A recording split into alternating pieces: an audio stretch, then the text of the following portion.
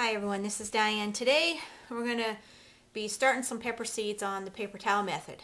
Now I know a lot of you have trouble growing uh, peppers from seed and this might be a better way for you to germinate your pepper seeds instead of in the soil.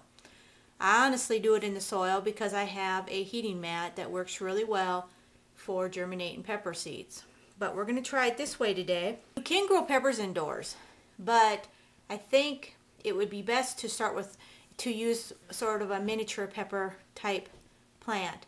Uh, the larger ones I don't think they'll do as well as a smaller miniature style. And this one today I'm doing is called the sweet pickle pepper. It's just a smaller pepper.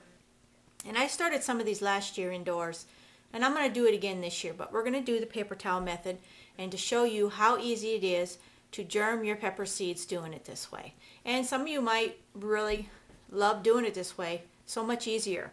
So I got six pepper seeds on this paper towel. And all you need to do is wet this paper towel down. Now if you have a water sprayer, hand sprayer of any kind, go ahead and use that. Okay, I have my little sprayer that I use for all my seeding. And I'm just going to take and just give it a light spray.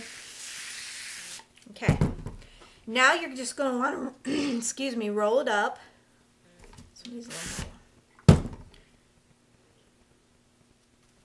If it needs a little more water, go ahead. So now we're going to place it in a plastic baggie, just like so, and seal it up.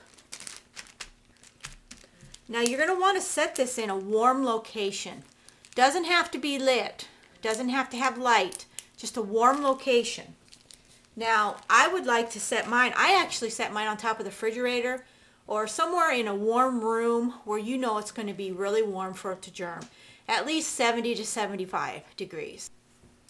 I also want to say that once you go ahead and mark your baggie so you don't forget what it is and what variety of pepper it is and the date.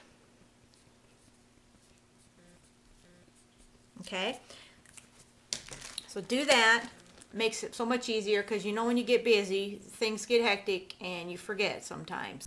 Well it's been about 10 days and finally I have about four of the pepper seeds sprouting. And you know I've done a few different things with these. These take pretty long regardless if they are in the soil or if you are germinating them on a paper towel. Now I had these just on a regular uh, surface where it was just room temperature for a while and I changed it up and I put them on um, on top of my fish tank where it was warmer. And I think that helped with the germination. But these are older seeds so they may not all germ. I'm going to say there's four of them germinating. These guys will be planted here real soon.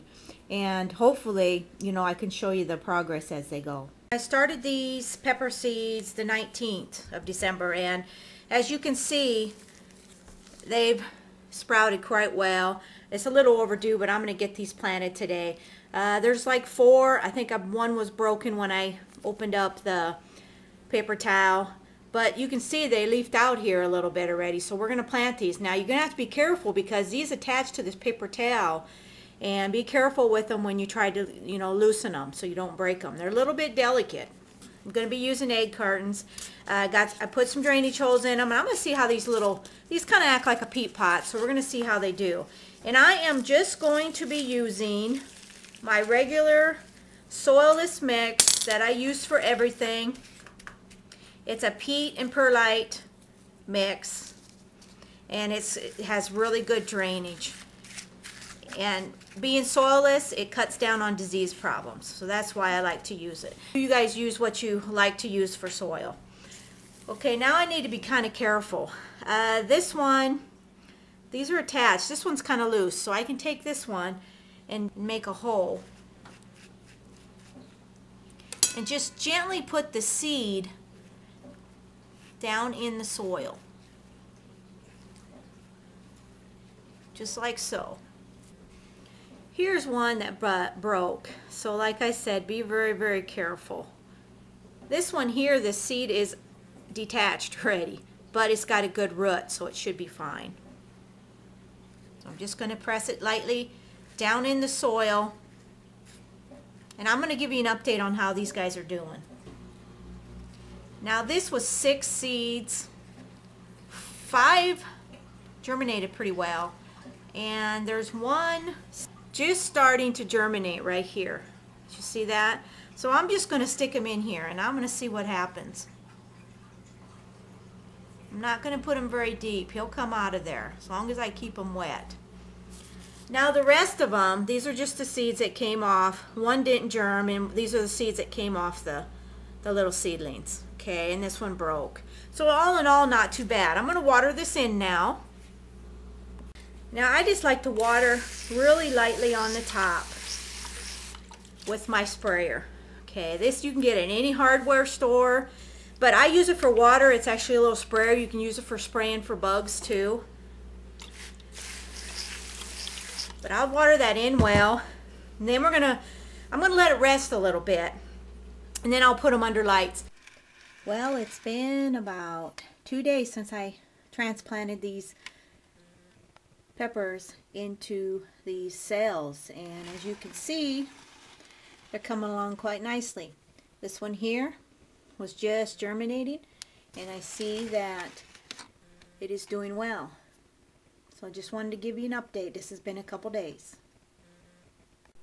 Well, I got two peppers left. Uh, was sick one day, didn't get down to water my peppers in time and I lost a couple. But that's kind of how it goes sometimes. But these two, this one here really looks good. This one was the little baby and he's got a little ways to go, but at least this one's getting its next leaves coming on now. And that's a good sign. Always a good sign. But as you know, I lose plants too, and I lose them because I don't get down here soon enough to water sometimes. And being sick, I was sick for a week, and I did what I could, but I one day I just didn't get down here in time. But I think these two will make it. They look pretty good.